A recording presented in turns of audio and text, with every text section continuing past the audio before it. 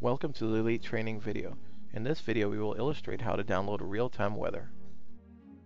After launching your Elite software and selecting your aircraft and navigational database, we will need to move on to the METAR page.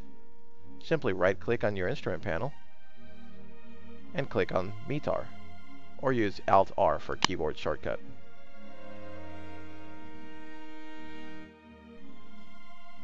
Now if we observe at the bottom of the screen, if we click the word deload or button deload, a dialog box appears.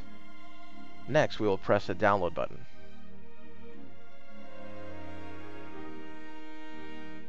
This will establish an FTP connection between the internet and your computer, downloading a text file to your local hard drive.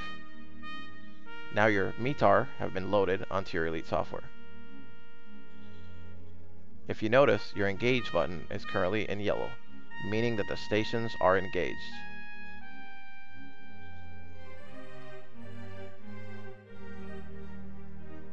If we right-click and go to the Meteo section, now we can see your METARs have been loaded in accordance to where your aircraft is located. This concludes this training video. Thank you for watching.